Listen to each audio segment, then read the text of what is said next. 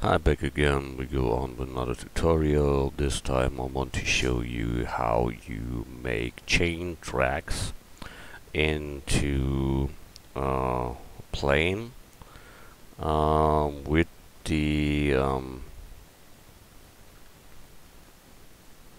I will show you that later. Good. Object add mesh plane. Scale them up. Object apply scale.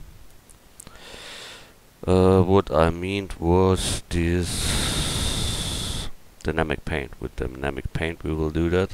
So um, at first we must um, subdivide this plane five times. So we go we tab in the edit mode, go under edges and subdivide.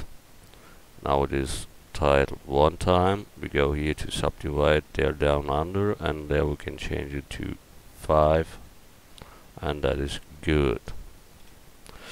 So um, then we need something that crashes on here for sure and we want to make uh, uh, tank tracks. So for that we need add curve circle uh, rotate x 90 degrees. Um, all G so he goes in the middle then shift C the um, 3D cursor goes in the middle. That's okay. Now we need one of the tracks from the chain. So add mesh cube scale down scale Y. That should be one of these tracks. Can scale them a little bit more then we bring them to the middle too, so all G, Shift C, good, we have that. Uh, we should apply that mesh there, so apply rotation scale. Then we need here an array on this uh, chain tracker there, so add modifier array you see he makes it there. Here you can slide around and give them more potions. Then we need here a follow curve. This chain should follow curve so we take the next modifier is a curve modifier under deform. Um, we select our curve there. You see he plugs it around. We higher the count of the array then we see we have a chain there. And when we now uh, move our uh, curve grab X then you see it runs. So we want to start from one side maybe from that side. We will see. Good we start from that side uh, at first we must um, give there an animation point. So this point should be the start of our animation. We are in the animation tab now and we hit in this 3D view I. So insert a keyframe and it should be the location that we want to track. Uh, at 50 frames he should be on the other side. So grab X. We drive to the other side and hit I again to set a key frame and again the location.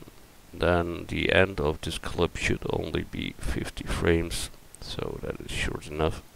And now he drives there through but we want to see the chain tracks later and uh, we will see what happens then. Good.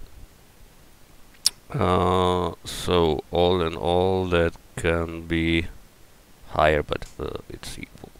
So uh, we take the chain itself and give them the uh, physic uh, dynamic paint. This is in our case a brush paints on this um, plane. We go here to add blur brush. Then we have here the mesh volume that is needed when we want to make it with displacement what we do this time. Good. Um, so we can go to the plane and set here physics dynamic paint 2 but at canvas and add canvas. Then we can say here what we want to do. We want to paint on it. No this time we want to make a displace so we take that and higher here the max displace a little. That should be enough. Then I must check which modifier is here only dynamic paint that is two less.